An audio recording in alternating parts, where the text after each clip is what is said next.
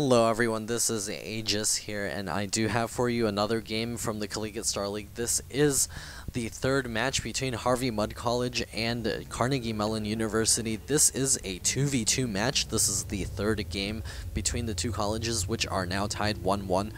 And we do have here iSaint playing for Harvey Mudd iSaint. Get your iSaint at your local Apple store. We do have Harmless here playing as the Zerg player. Harmless also playing for Harvey, Harvey Mudd College. Um, I hope he is not just harmless in, for this game. You do need to do quite a bit of damage in order to win. Uh, Zerg is quite a harmful race as well, so it might just be irony there. We do have Zephril playing as the Red Terran player for uh, Carnegie Mellon University, and his ally Pandor playing as the Teal Protoss. So we do have a 2v2 map match on the map uh, Scorched Haven. Scorched Haven is very a very dark map. I don't quite like this map because it's pretty hard to see on my computer screen uh, exactly where the ramps are. If you look here, it's kind of dark looking. And we do have iSaint getting his barracks in his base uh, Zephryiil and Pandor are not quite going to wall off together. Pandor going ahead and walling off his ramp while Zephryiil saying, I'm going to take care of this ramp for myself, see if I can get a natural expansion up relatively quickly. iSaint is going to get his second barracks up now. Uh, Harmless is getting his uh, spawning pool on 14 as well as this gas. Quite a safe build. 2v2 games are known for rushing, so we'll see if they do decide to do a, a really big all-in attack, see if they can end this game really early, or we're going to try to take a couple of bases and end the game in the long run. However, this game, uh, this map does not let you take a third very easily. It has these awkward expansions down here in the corner, or these uh, two gold expansions, which are basically not takeable. we'll just say it that way unless you do have full map control anyways. So Harmless is now getting uh, Zerglings, two Zerglings on the way to see if um, he is able to do anything with those. I think those are just for scouting purposes. We'll see if he does decide to go for a bust or if he decides to take his expansion at a nice safe 20 food timing.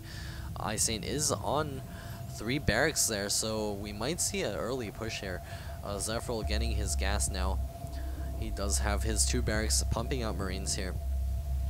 Pandor is, I haven't looked at Pandor, is getting his cybernetics core now. Pandor saying he has two racks. He does not know that there's a third one up right now. iSaint getting his three Marines, uh, four Marines out here. A Couple of Zerglings being produced. A Roach Warren by our blue player here. So we might be seeing what they call a Roach bust. See if they can bust in here and do a lot of damage. Or if uh, Pandor and Zephryiil can hold it, get their expansions, and go for a long-term win. Zephryiil is getting his tech lab. This tech lab is in a vulnerable position. Can snipe this and just back out. it's quite annoying to rebuild those uh, add-ons. We do have a third racks coming up for uh, as well. His tech lab is now complete, and we do have Pandor getting uh, four warp gates, so quite a popular strategy. Uh, very predictable to see from Protoss here, especially if it is a four warp gate. So uh, 2v2 matches do come down to these rushes, see if you can hold the rush off and go for a long term, or if you can crush a rush and then run in yourself and do a lot of damage. This probe is going to come out here and is going to see these Zerglings and is also going to not quite see the mass army here, is moving out a little bit, and we do see the army from, uh, I don't remember what school, Harvey Mudd pushing in here do have a force field being thrown down, a little bit random, not doing much there. Sentry not quite being able to do damage here. Uh, Zerg not actually having enough uh, units to help reinforce. All that's left here is a Roach and a single Marine is going to try to kite that Zealot. We do have the Marines also chasing over here. Oh, and it looks like uh, Harvey Mudd's team is going to be in a little bit of trouble. It's going to try to throw down this emergency bunker here and try to hold this attack off. But this attack does have plenty of units, and there are units, if you look on the mini-map, streaming in from the backside. So there's only these three Marines out here. Zerg doesn't actually have anything right now. Two Roaches on the way. Uh, four Roaches up on the ramp.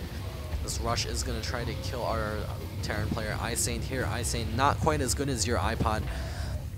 so we do have uh, only one Marine left here. His production is not quite strong enough to defend against this.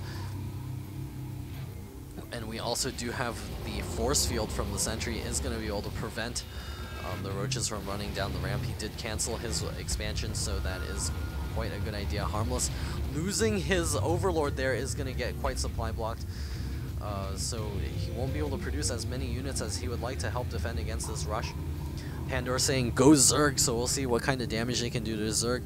Uh, stim up and I'll block ramp. They do have this quite well planned out.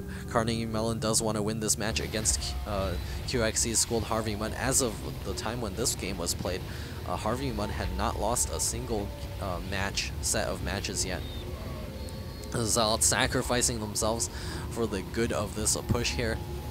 Uh, this Terran army is moving over here, but is going to meet up against the larger Terran army as well as the sentries going to get taken out there quite easily. Those three sentries will be able to force field this ramp for quite a long time. More stalkers coming up here. More reinforcements just streaming in. Harvey Mudd's team is looking in a lot of trouble. We got these emergency spine crawlers as well as the second hatch coming up. The sentries moving to the front of the ramp is going to deny those reinforcements from coming up. Force fields should be going down anytime now. In the meantime, we do have this army here taking out our Zerg player. He is going to have to pull his drones very soon to try to help defend against this attack. He needs to die as slowly as possible.